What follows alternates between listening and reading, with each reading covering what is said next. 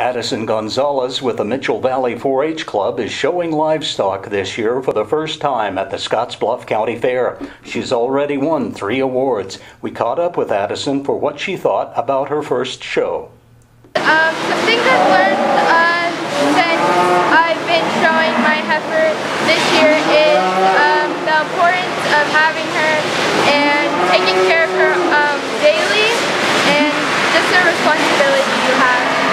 getting up early,